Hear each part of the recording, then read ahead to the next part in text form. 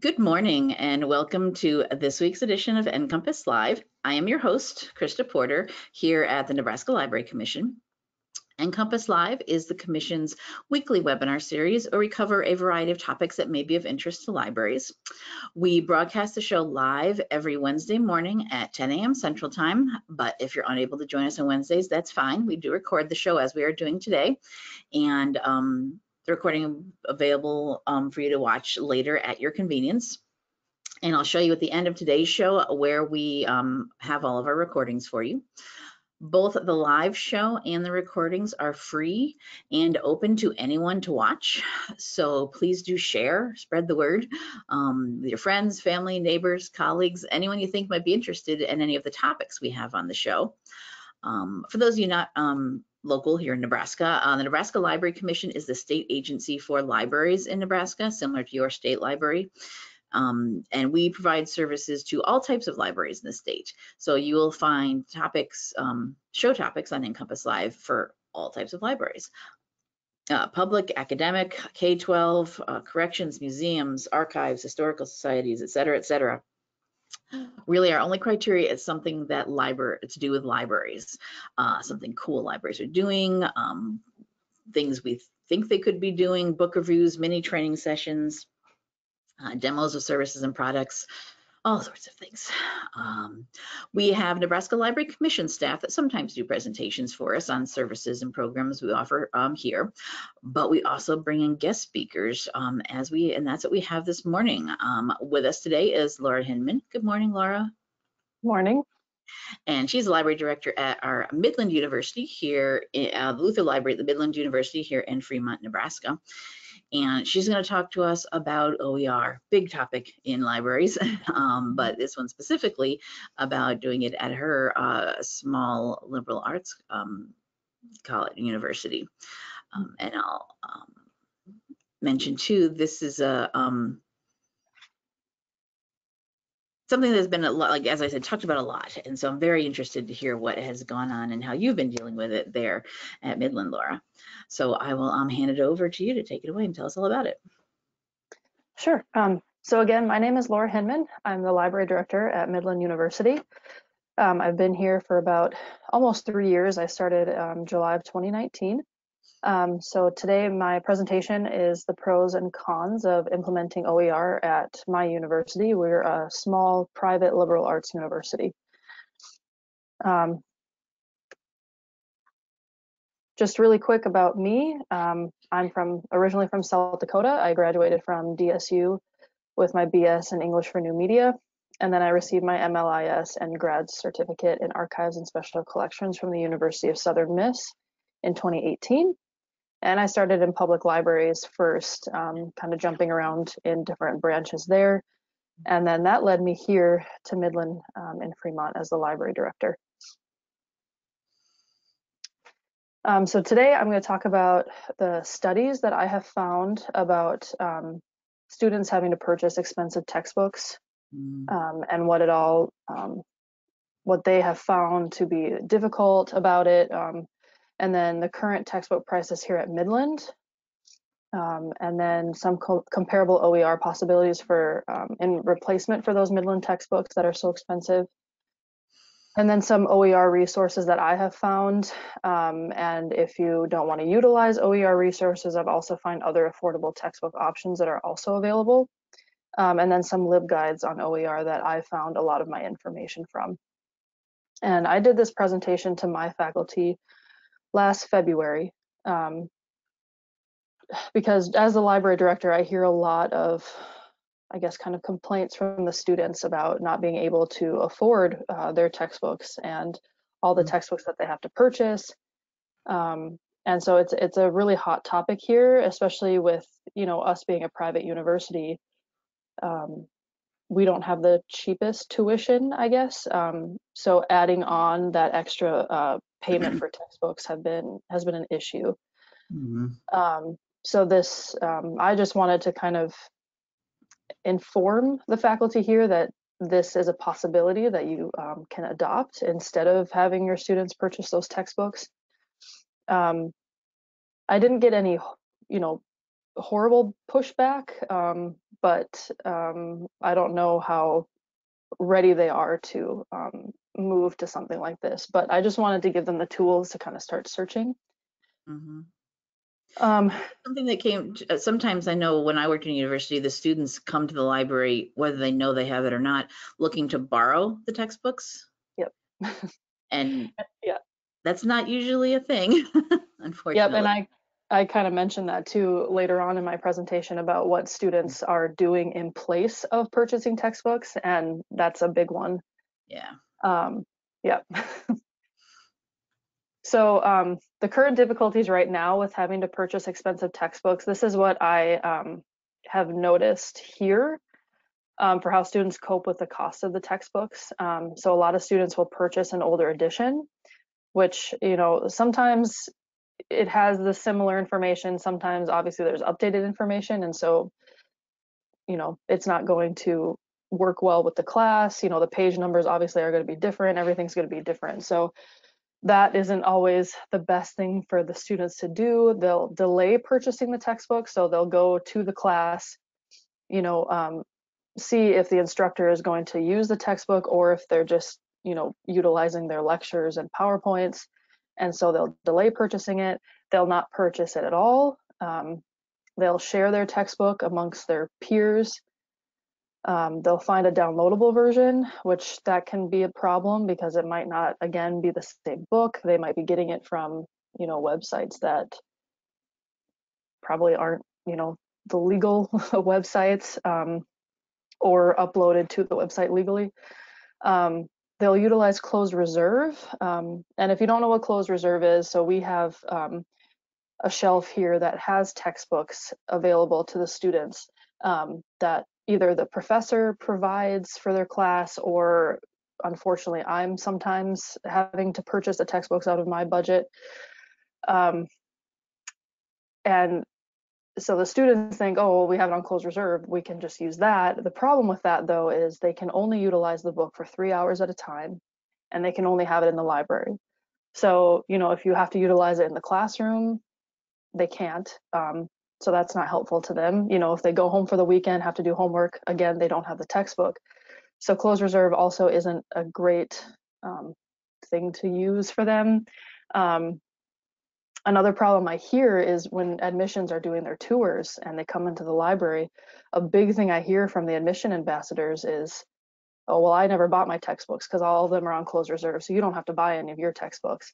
And the problem with that is, you know, while we have these, we don't have textbooks for every class. So, um, you know, it kind of becomes a bummer to the students that start coming here and they're like, oh, I thought all my textbooks were up here, and they're not.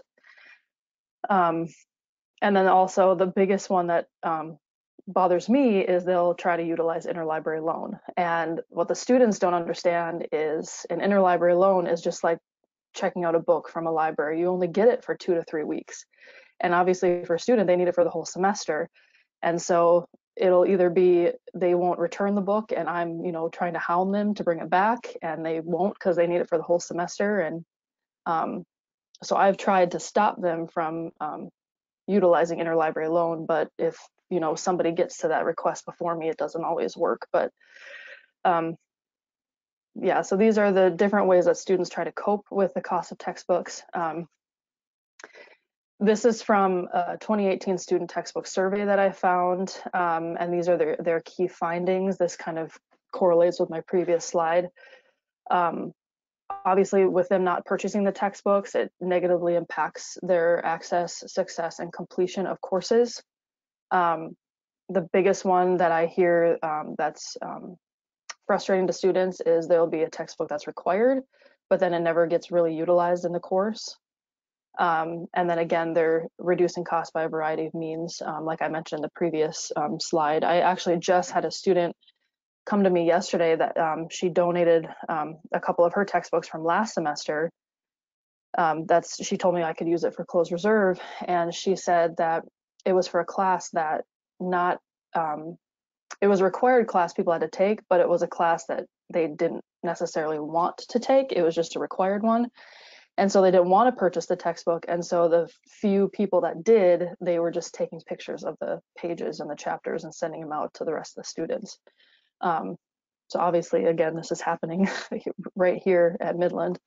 Um, and this is just a table from that survey again, showing um, kind of a breakdown. That this is uh, survey is from um, some university and colleges in Florida, um, but this is just kind of a breakdown of how many students are paying, you know, at in each interval of um, dollar amounts, and you can see, you know, almost 1,600 students are paying between the 500 and 600 dollar amount, and that again doesn't include the tuition that they also have to pay for. So um, it's a lot of money that obviously puts a lot of stress on the students. Um, and this is um, the top five percentage answers reported by students when asked about the impact of textbook costs.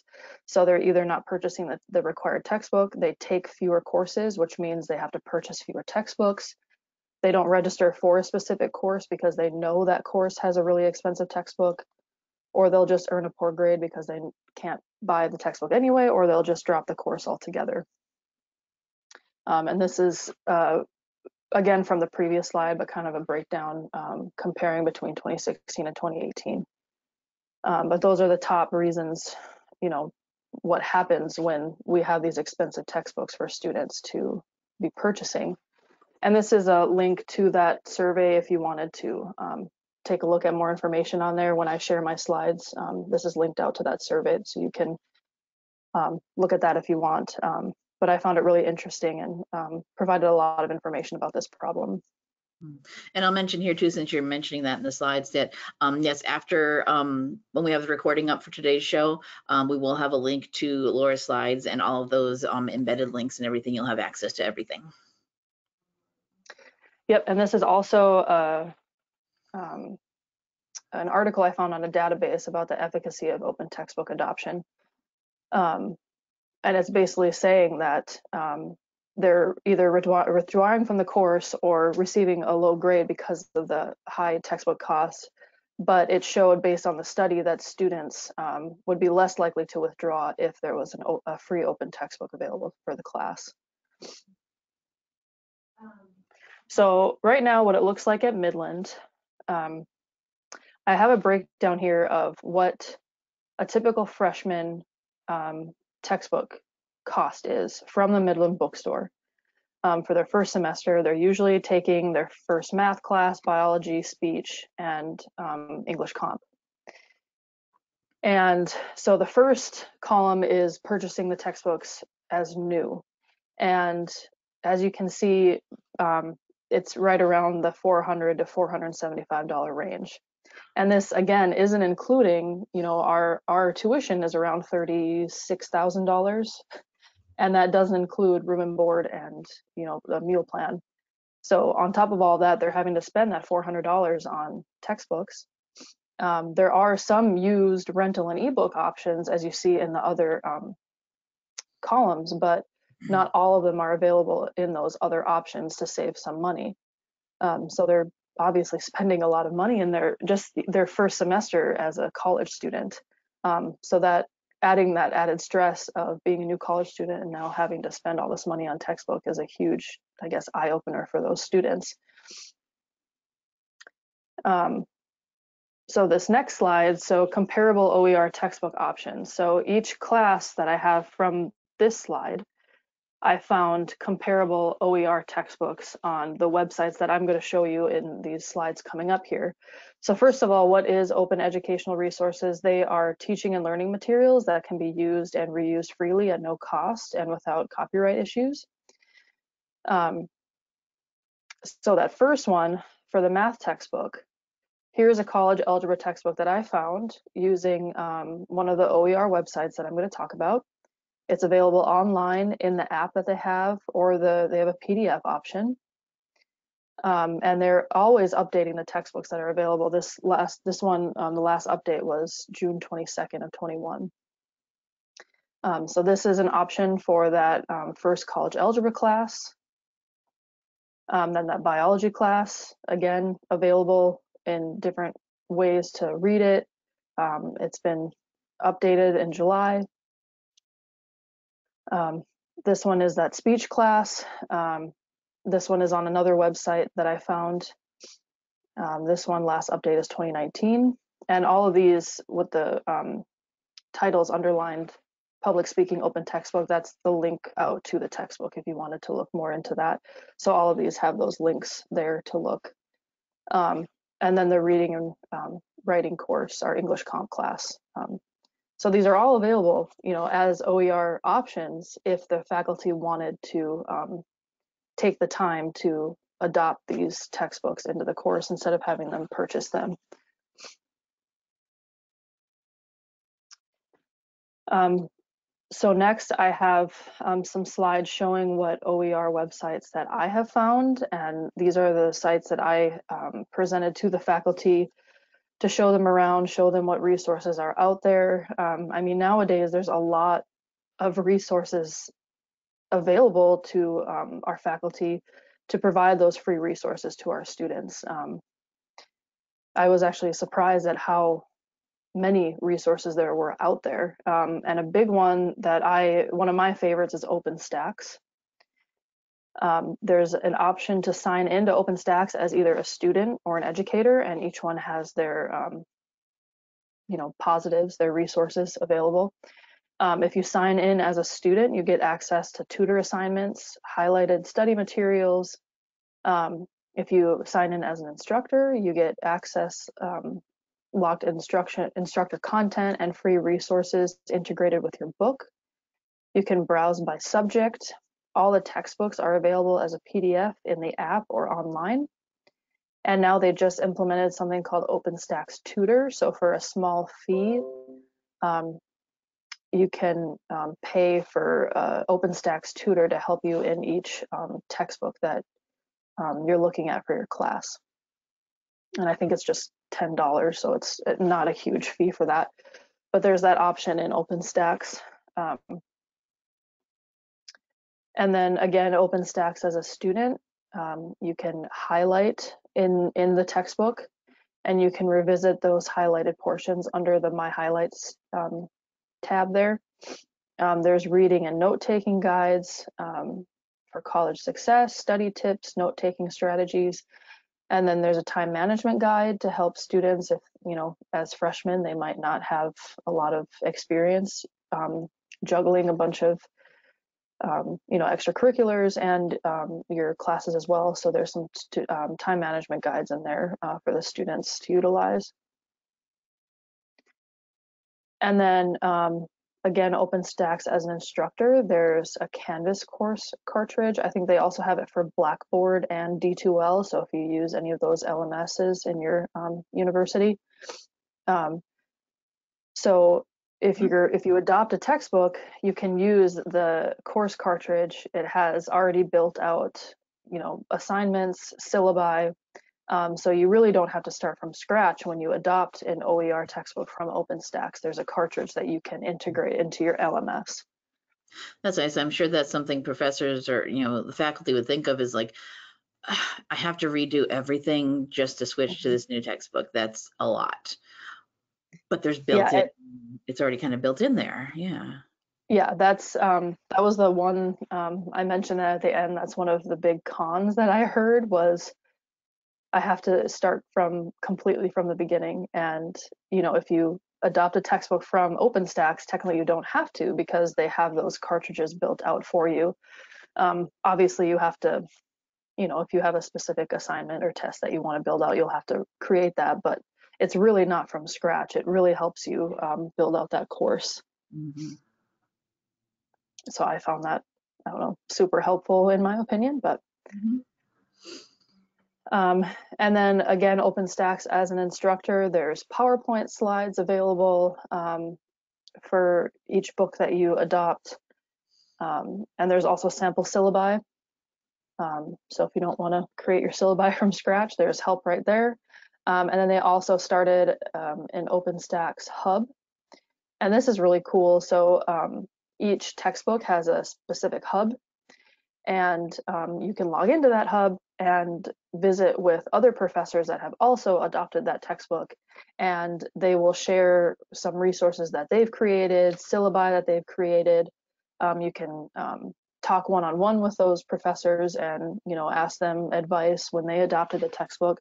So um, that hub that they created, I think, is really helpful um, for professors that are just starting out and not really knowing um, where to start. Um, so I thought I thought that was really cool that they started that. Um, so here's the link out to OpenStax, and I was just gonna um, go in there and kind of show you around. Are you seeing the OpenStax website? Yes. Yes. Yep. Okay, good. good. So I'm logged in right now. Um, this is what it looks like. Um, again, for instructors, you've got that LMS integration, so those Canvas course cartridges, there's PowerPoint slides, test banks, answer guides. Um, and then you can browse by subject. Um, again, I talked about that OpenStax tutor. Um, so we'll go into the subjects. Um, so here's math. This is again where I found that college algebra textbook. Um, and even if you're, I think they have stuff for high school too. So if you're needing stuff for high school, not just college, they have that information. Um, so they have math, they have science, social sciences, humanities, business. There's a huge amount of information here um, that's available. And um, believe they have, um, I guess for, for my school, a big class that has the most expensive textbook is anatomy and physiology. Mm. And I've been trying to, oh, here it is right here, um, talk to the anatomy and physiology professor to try to um, implement this textbook instead because it's about a three to four hundred dollar textbook. Um, so I've been trying to um, have him utilize this instead to kind of help out because it's normally the nursing majors that have to take that. Mm. he hasn't done it yet, but I'm hoping that he'll start soon. Um, but yeah, if you click on one of those books, um, again, there, you got the table of contents. You can look at it online on the app or PDF. You can either either um, even order a print copy if you want to. Um, and then again, it tells you when it was last updated right there. Um, and then there's your instructor resources. So there's your um, LMS integration if you want Canvas, Blackboard, or D2L, and you just download it right into there. Um, here's that um, hub that uh, visit the hub that I talked about. Um, so if you um, use this textbook, you can go to the hub and see what other resources are um, are out there from the other instructors that have been using this. And there's those um, PowerPoint slides and sample syllabi that I mentioned. And then for the student resources, there's the note taking and um, time management guide that I mentioned as well. So um, personally, I really like OpenStax. That's kind of one of my favorites. It has a lot of options available for you. Um, again, it's got that LMS integration, so you don't have to start from scratch. So personally, I really like the OpenStax um, the best for OER. Um, but that's kind of what it looks like for that option. Um, the next option that's out there is called the Open Textbook Library. Um, right now, that has about 840 open textbooks available. Um, that number changes all the time because they upload new um, textbooks all the time. Um, several are listed currently in development. These textbooks are all available as a PDF, Word, or ebook format. And again, you can browse by subjects. So when we click on that, this is what it looks like. Um, it's a little bit different from OpenStax where this is um, basically just strictly textbooks instead of the extras that mm. OpenStax offers. Um, but it um, shows you the new books that are available uh, right now. Um, and then you can browse by subject again, just like OpenStax. Um, so we can look at um, look at this one, for example um, learning in the digital age. It provides reviews if people liked the book or not. And then it gives you that copyright year again, so you know how updated it is. And here you can get it as an online and PDF. Um, I guess I can show you what it looks like when you look at the online version. So it gives you the table of contents right away, and then it has you scroll through the book. Um, so that's um, Open Textbook Library. Again, it's just strictly textbooks, um, but it's just another resource to find more books available for you. And then um, the next one is OER Commons. And that one is a central hub for all things open source. This one um, has more than just textbooks. There's also um, articles available, there's mini lessons, there's simulations. Um, you can filter by a specific subject area, so education level, material type, media format, and there's also full university courses in there too. Um, so you can um, utilize that as an example if you decide to adopt mm-hmm. one of the textbooks then you can look at the university courses that are available and kind of build your course out from what's um, available on OER Commons. And what I love about those simulations, um, so example, you're a nursing major and you're working on maybe the um, how blood pumps through the heart or something like that, and they actually have a simulation of how that works, and it's a video of showing um, how the blood flows and everything. So I love those simulations that are available on OER Commons. Um, and that's what this is what that looks like. Um, you can again search what you're looking for. You can do it by subject area, education level. Um, and these are the different um, like Common Core math and different ways things are taught now. Um, so you can look at that as well. Um, I'll just search um, mathematics for an example. So if you look over here on the left, um, we're looking at mathematics and you can break it down by the different subject areas, um, the education level material type. So if you want like a lab or a case study um, or something interactive, lesson plan modules, that simulation, um, syllabi, textbook. There's just a huge amount of information here. So if you want to use, um, you know, different resources besides the textbooks to show students how to, you know, do something within that course or within that um, subject, all of this information is here for you. There's games. There's the full course here again that I um, mentioned that you can um, use an as an example when you're building out your course. So there's a huge amount of information here on OER Commons.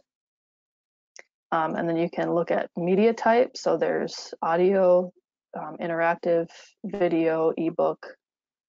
Um, so yeah, there's a lot of um, stuff here to utilize. Um, and then this is what the textbook option looks like.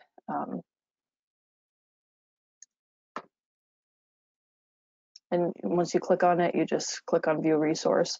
A lot of the information on OER Commons, they um, work with the other OER websites that I mentioned. So sometimes it, the textbook that they show here, they're pulling straight from Open Textbook Library. So I mentioned that in my previous slide.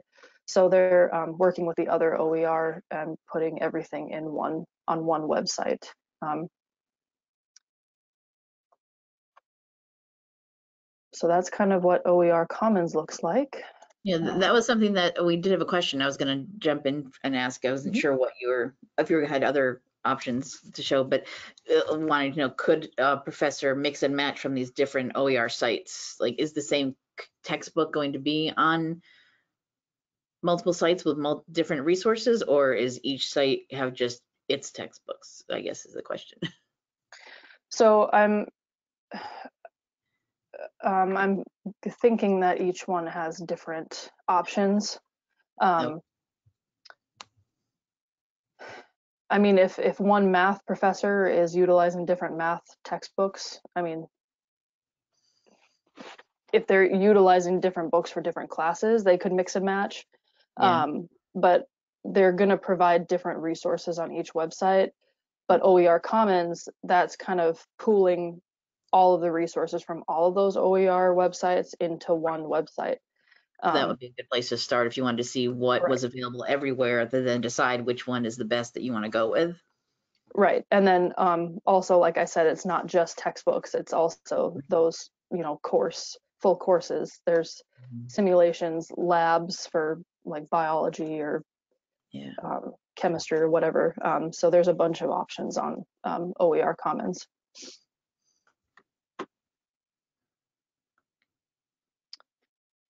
And then there's also at Rutgers University, they have a community repository.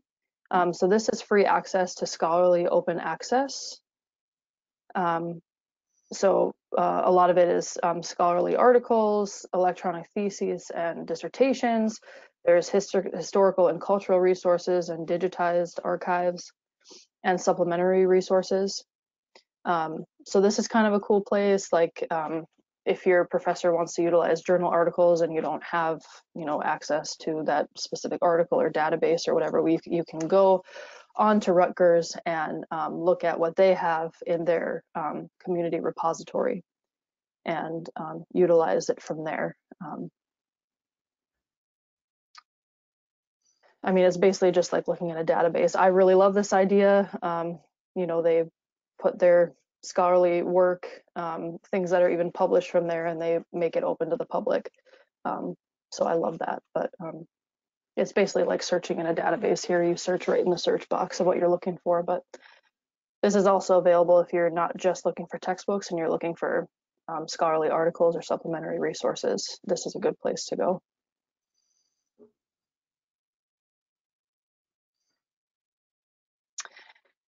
And this is other OER websites that I found. So there's Open Course Library, and that includes textbooks, syllabi, course activities, readings, and assessments. Um, there's 81 college courses on there, 42 have been completed so far. Um, and it also provides faculty with a high quality, affordable option that will cost students no more than $30 for textbooks. So it will um, might provide textbooks that you have to purchase on there, but they're super cheap um, options.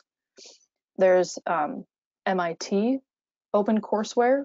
So it's a web-based publication of almost all of MIT course content. So if you're trying to build out a course, um, there's a lot of course, full course content options um, straight from the Massachusetts Institute of Technology. There's also Merlot um, that has over 35,000 open course materials. And then there's the Milne Open textbooks, and that's from the um, SUNY faculty and staff peer-reviewed open textbooks um, that are authored by the SUNY um, faculty and staff there. Um, and I don't have to go into these um, links. Um, if you want to look at them from my um, presentation, you can. But it's basically like all those other websites. There's a search box there. You can search by subject or course that you're looking at, and it provides you all of the resources right there.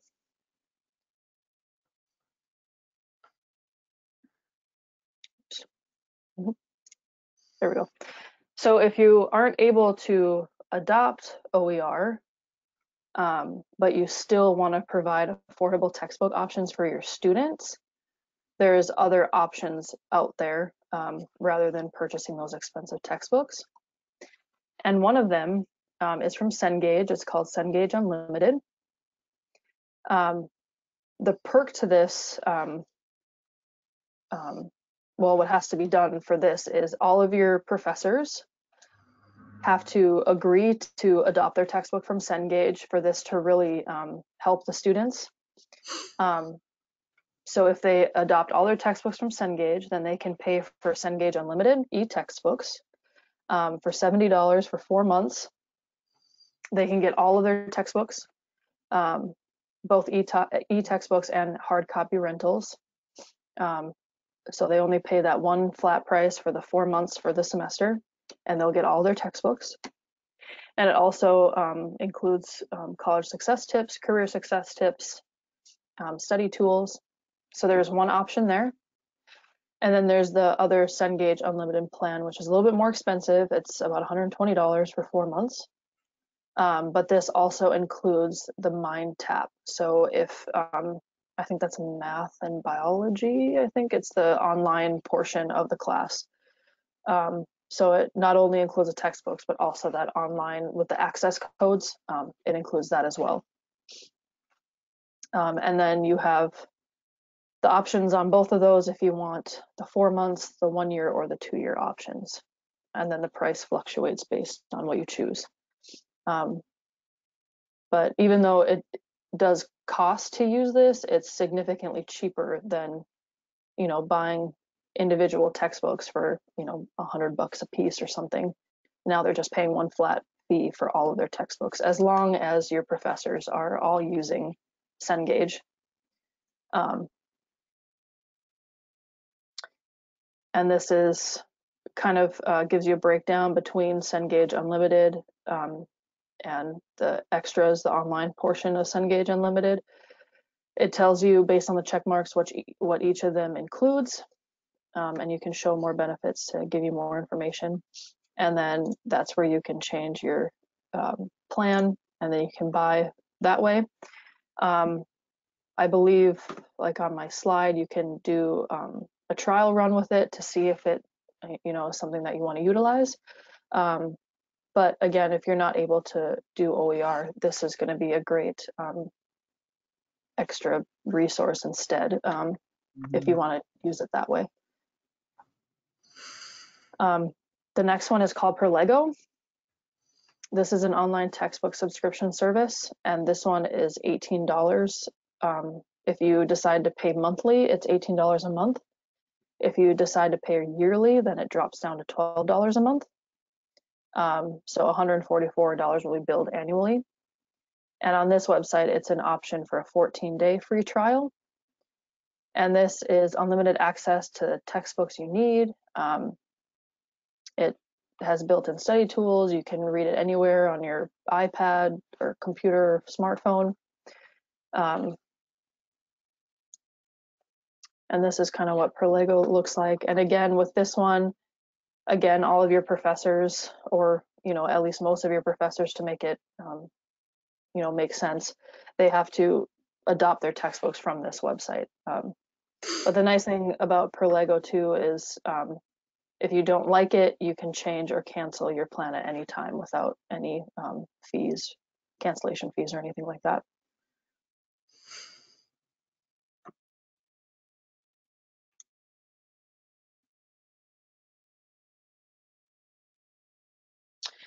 So um, what I found with the cons when I presented to um, the faculty on this um, presentation, again, I, I, didn't directly, I didn't get any bad feedback. I just heard it from others. Um, um, one of the things I heard is, is, I think they thought that I was um, asked to create this presentation from, I don't know, maybe the higher ups or something. Um, because one of the responses I got is, are they expecting us to do this now that she gave us this presentation? The only reason I gave this presentation is because I knew this was out there. I knew it was a problem with the students. And so I just wanted to give the tools to our faculty. Um, mm-hmm. yep. So nobody told me to do this presentation. I just wanted to provide it. Um, the biggest one was building a Canvas course from scratch, like I mentioned earlier. Um, you know, we have professors here that have been here for years, and so they are, you know, utilizing basically the same, you know, assignments, tests, and quizzes. They might change a little bit, but not very much. They've been using the same textbook for years, um, so they never have to change anything. They, it's not, you know, much work on their end um, to have to change anything. Um, and so having to, you know, find a book, read it, build the whole course content. That's one of the big cons. You know, if they use OpenStax, there is that cartridge there for them, so it they don't have to do it from scratch, but they would have to be open to doing that. Um, and then um, for the second bullet, um, the hesitant on the validity of the books. So our nursing faculty, um, I guess it would be a big example for this one. Um, obviously, they're going to be wanting that evidence-based um, textbooks because that's what they're, you know, that their um, coursework it relies heavily on, obviously. Um, and so they're concerned. I don't know if it's because it's freely available and it's free. Um, they're worried about the validity of the textbooks. But my the biggest thing that I hear from the students is like on the positive side, their textbooks are built into their tuition. Um, so they automatically get their textbooks at the beginning of every semester because there's a faculty member that are buying these textbooks for the students. So they're all set up to go for each semester. Um, and it's nice for the nursing faculty because then they don't have students who don't have the textbook or who, who are waiting on a textbook. The downside to doing that is they're purchasing all new textbooks. Um, so there's no room for possible um, like saving money because they're not looking at rentals or used books. It's all brand new purchased books. Um, and then they're also having them buy the ebook and the textbook. So that's like double purchasing. Um, hmm. Not one or the other, but both. Right, both. Yep. Um, so I hear a lot of, you know, complaints about the amount of money that's being spent on those books. Um, and a lot of, like I showed, you know, there's that anatomy and physiology book on there um, on the OpenStax website. Um, so there, the resources are out there. It's just, again, the faculty have to go in and see what books match the best for their course. Um, another thing about Midland is um, Midland is very adjunct heavy. So um, hmm. we have about, I don't know if it's like 36 full-time faculty and the rest are adjunct. Um, so we have over twice as many adjuncts here. Um, and so what what I've seen a lot is when adjuncts choose their textbooks, um, they've never had to choose a textbook before because they have either come in just graduated as a student or they've been out of teaching for a while and they're just coming back for a part-time job. Um, and so they might not know how to um, choose a correct textbook to use. And so a lot of times I'm seeing that the textbook that they're um, choosing for the students is either only available to be sold um, on Amazon by third party sellers. And usually with those third party sellers, they're um, jacking up the price. So if it's like a $60 book and it's not available anywhere except from that third party third party seller, they're jacking it up to like $300 for the book. Um, so I see a lot of that. Um, or they're just um, finding textbooks that are just more expensive than they need to be. There's more, you know, cheaper options out there, so they're not um, they're not being mindful of, you know, what the students are already spending their money on in other courses plus tuition and everything. Um, and then with adjuncts, you know, they come and go. So we get new adjuncts every semester, and some of them either stay, you know, several semesters or they leave. Um, and so it's hard for me to give them this information when you know they come and go all the time. Um, so they might not they just might not know that these resources are out there. And then again a big one is not knowing where or how to start with this information. Um, and that's again what i kind of tried to do with this presentation to the faculty to kind of help them. And you know so far you did the legwork for them yay. Right. Um, so far i did have um, we have a couple of professors that are already utilizing OER uh, before I even did the presentation. Um, I mean, that's great that they're doing that. Unfortunately, it's classes that even if they adopted a textbook, it wouldn't be an expensive textbook anyway. um, I was hopefully more directing it at, you know, the health sciences that have really expensive textbooks. Um, but I'm really glad that they're utilizing that and that the students see that this is available. Because um, even if that even if their other textbooks aren't on there, at least they know that there's some supplementary um, resources out there, mm-hmm. um, like those simulation labs that I showed you and um, different um, resources that are there. If they're not understanding the content, then they have that to go to. Um, and I have had a couple of professors come to me um, asking um, for my help finding um, OER for their classes. Um, so I have had a couple of professors adopt OER since I've done this um, presentation. I'm hoping more will come. I don't know if it will, um, but I know the several students that I've talked to, they would really like for this to happen here, um, just because there's so much more money that they're spending on other things. Maybe it's something that starts small. If this is, you know, at least a few are doing it and the word will get out. Um, and maybe um, student demand, once they learn about it in one class, they may bring it to the other more expensive ones and say some say something to the professors, but hopefully. say, Right, why yeah, don't you do this? This would be great if you could do this. right, yeah, exactly. Um, and you know, I I send out a like a biweekly um, newsletter about kind of what's going on in the library, um, if there's any changes and stuff. And I usually end all of my emails with, you know, if you need help um, finding textbook or finding textbooks or wanting to um, try open educational resources, let me know and I can help you. So I'm always putting kind of putting that plug in their ear. Uh-huh. Um, I'm just kind of hoping and waiting that more people utilize it. So, um, yeah.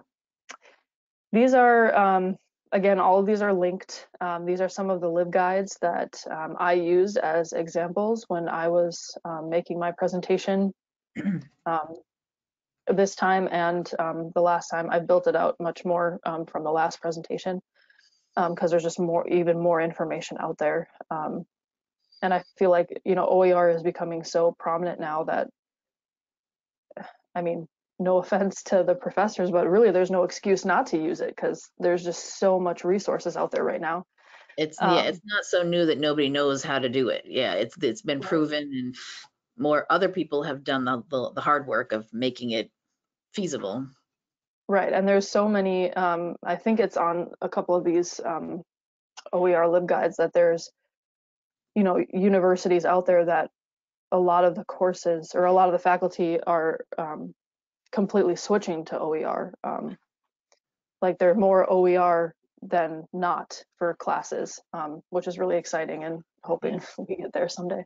Um, but these are just examples. Um, if you want to look at them, um, if maybe there's some information that I missed and you want to see what they're doing, I linked them out to um, the schools that I looked at. And then this is an open educational resource guidebook. Um, it's linked on there. Um, this just gives more information about it, um, more resources that are available. Um, and so I got a lot of information on this guidebook as well. Um, it's not super long, um, it's easy to read. So if you wanted to utilize that, it's linked right on that slide. And I think that's all I have. Is there any questions for me or? Doesn't yeah, does anybody have any questions? Um, go ahead and any more questions, type into the question section of your GoToWebinar interface. Um, if you want to know more about any of the different um, OER services that Laura mentioned, you can ask about that or how you, um, is anybody uh, using this kind of thing in your university or college? Um, if you have any tips for anyone else who might be wanting to jump in here and, and needs I think that's I think this uh, presentation actually would be great for anyone to use who is doing trying to do the same thing you are doing, Laura. Like, I want, I know this is a problem, a, a need in our in, in our in our college at our university, and but I need you know this the backup. I need the, the research. You know, how do I how do I convince my faculty to do this? Um, and I think all the resources here and and what you've gone through so far um, is going to be great for other people to do. Uh, now your the the survey and questions you had at the beginning were from like 2018 19 correct Mhm. um, when did Yeah. you do uh, we do have a question how long ago did you do the presentation to the faculty to try and convince them of this i don't remember if that was Yep, the first time I did this presentation was um, uh, February, last February. Um, 2021 yes, uh, okay it was right. Yes, Um, yep, last February. Um, it was right before I went on maternity leave. That's how I remember. um, um, so yes, last February I did this presentation. Um, It's been about a year that they've, no, yeah, okay. Yep. Um, Hmm. this is, um, I do want to, again, redo this presentation. Um, I'm working, I'm currently working on um, creating a survey uh, to send out to the students. I have to have um, IRB approval to do it. Um, so I, I have a process to go through before I can actually send out the survey. Um, but I want to hear from the students of what they're doing um, to get their textbooks because you know I showed uh, the survey findings on this presentation, but I want to do my own survey here Sure. because I have you know a big inkling that um, a lot of them are going to say that they're using Close Reserve and they're making copies or taking pictures of the book from Close Reserve or yeah or they're um, utilizing their peers. Mm. Um, I'm guessing that's going to be the two biggest answers I'm going to get, and I think that showing that might I mean, I don't know if it will, but hopefully that'll give them a little bit more push because I know that, you know, I've heard from faculty that it's, you know, frustrating when they don't have the book in class. You know, they didn't do the reading because they don't have the book um, Yeah. or whatever it is. And I mean, here, you know, here's your answer. Here, here's where you can easily fix that. Um, I mean, that would be, that was, that's a question too. I mean, do these faculty just assume all the students are getting the books? Do they even know that this, I mean, that, that what happens in classes? Yeah, why, you know, if that, I mean, you just said they, they get frustrated. Why didn't you do the reading? I can't afford to buy the book that you want us to. yeah, Okay. I think they, And then what are you doing as a faculty to fix that problem? You just, yeah.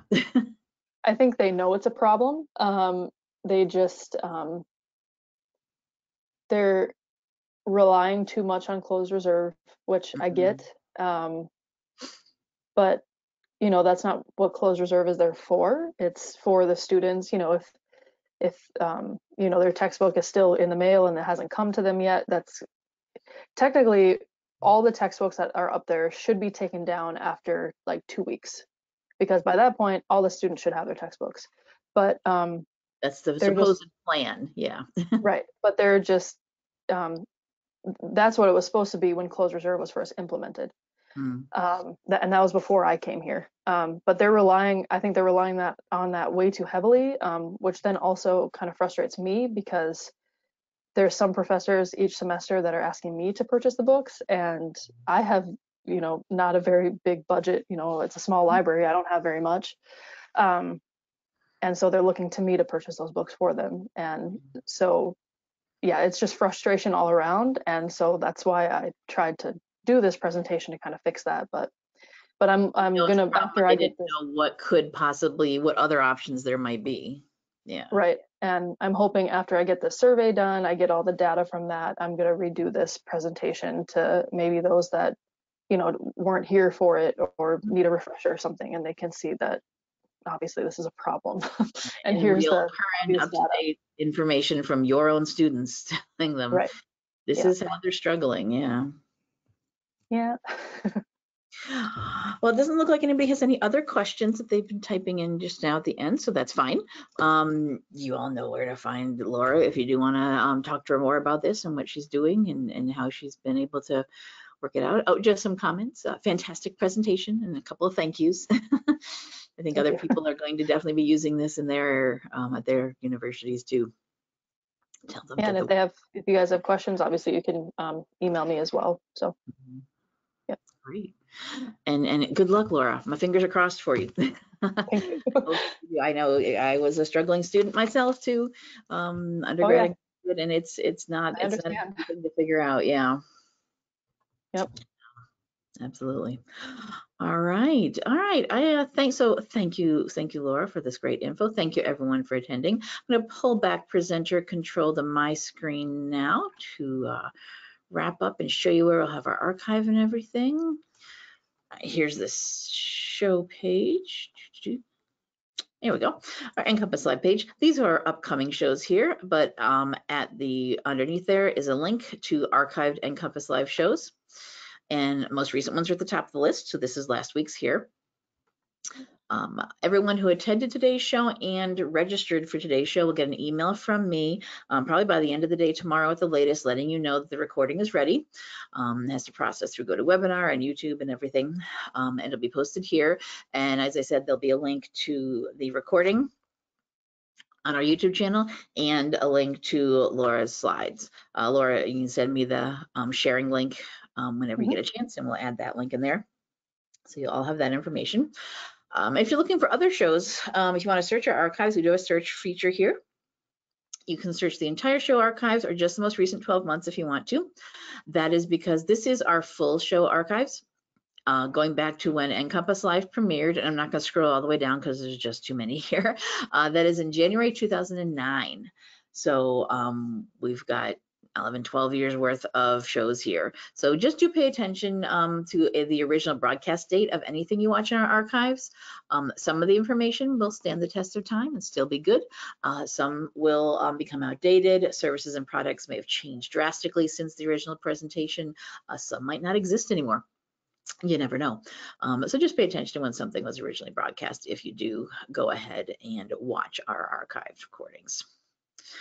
Um, we do have a Facebook page I have linked here um, for um, NCompass Live. We do promote about our shows. Here's a reminder to log into today's show. Um, so if you do um, like to use Facebook, um, give us a like over there.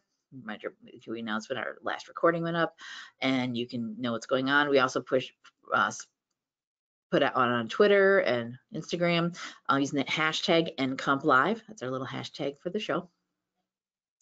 Um, so you can keep up on what we're doing there.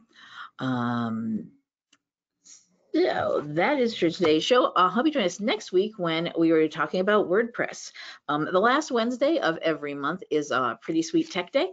Um, Amanda Sweet, our technology innovation librarian, comes in the show and does something tech related. So if you're the techie person in your library, this is definitely the um, show to be watching. Keep an eye on.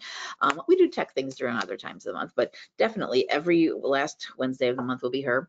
And um, WordPress just did an update, she told me, to their interface, and she's gotten lots of calls and emails with questions about it. So she has for her topic uh, next Wednesday WordPress layout templates using Elementor. So definitely sign up for that and any of other upcoming shows you see we have here in March and April dates getting filled in. Uh, keep an eye on the schedule here as I get more of the other dates that haven't been um, scheduled, finalized. And so sign up and so um, join for any of our other future upcoming shows. Hope you'll see you um, on those. Um, also a reminder, uh, something else we do online, Big Talk from Small Libraries is next Friday, February 25th. This is our annual online conference, all online, all day long uh, free um, small libraries doing presentations. Everyone who is a presenter on Big Talk from Small Libraries are, is from a library with a um, population served or an FTE of 10,000 or less. Uh, Laura has been on there before, actually, previously. Um, our schedule is up. Uh, re registration is open. We have presentations from public, academic, and school libraries. So a little something for everybody. So um, if you are interested, everyone, so anyone can sign up for it. Um, that is next Friday, February 25th. So sign up for Big Talk. Sign up for any of our upcoming NCompass Live shows. So hopefully we'll see you on a future episode. Bye-bye. Thank you.